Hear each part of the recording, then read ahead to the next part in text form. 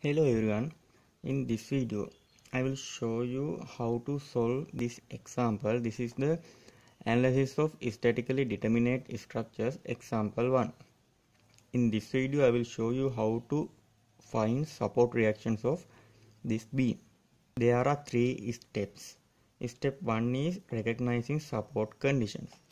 In our problem there are two support conditions A and B a is a pin support and B is a roller support.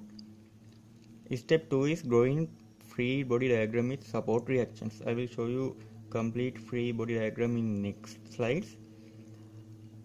Basically we mark the support reactions on these supports. So if we have a pin support we usually mark two force components one horizontal and one vertical force.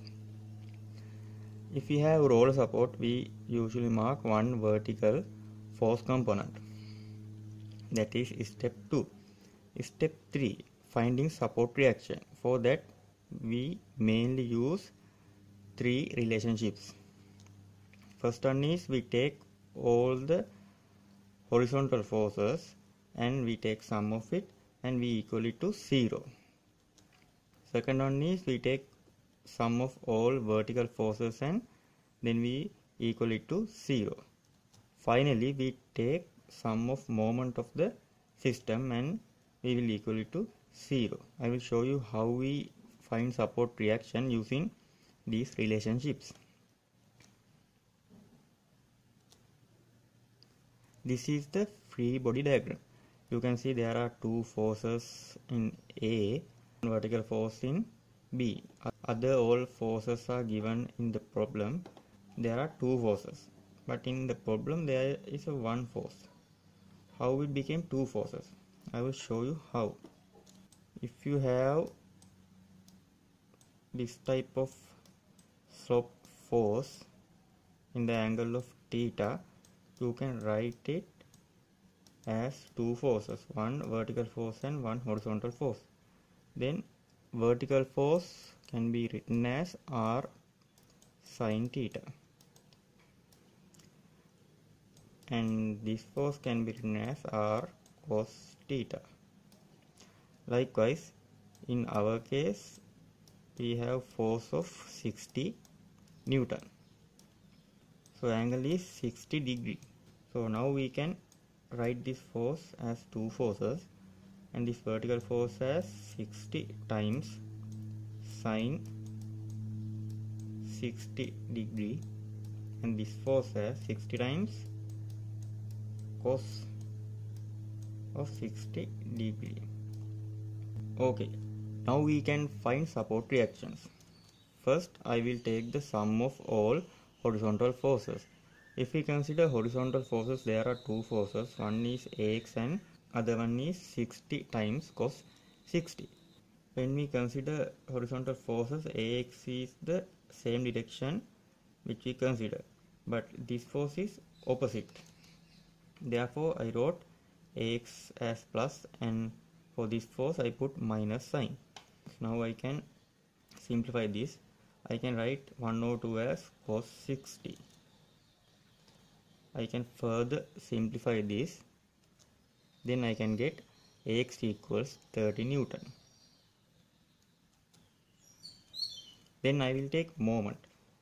Also I will take moment about point A and there's a direction, direction is clockwise direction.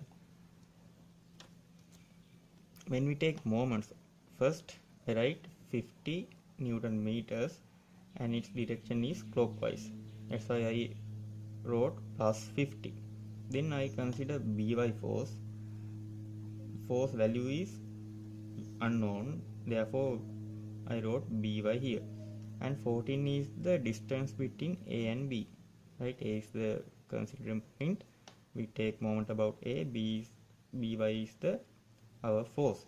So distance between A and B is 10 plus 4 14 then 60 sine 60 when I consider this force moment due to this force is clockwise direction if we take moment about A of this force, it will rotate like this. Therefore, its clockwise direction, the same direction we consider. Therefore, I put plus sign here. And 10 is the distance between this force and point A. It's given in here. Then 60 cos 60. This force. This force go through this line and when we consider moment due to this force it will rotate this direction.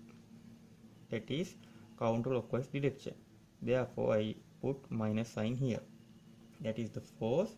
Then one one is the distance between this force and point A. That is 1 meter.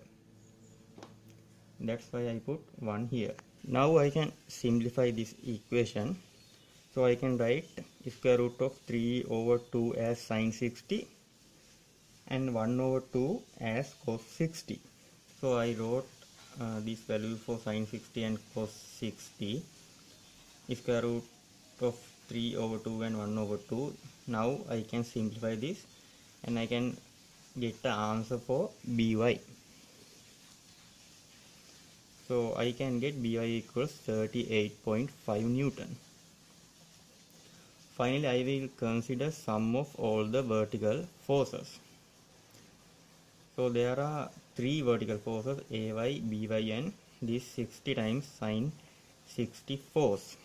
And if we consider directions AY and BY are upward and this force is downward.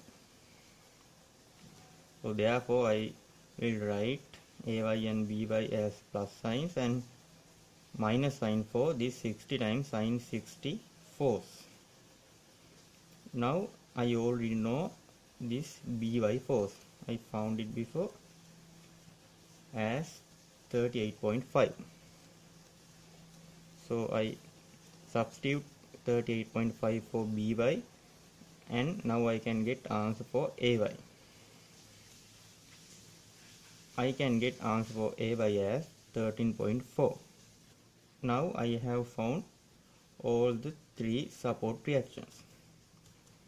AY equals 13.4 Newton, AX equals 30 Newton, BY equals 38.5 Newton.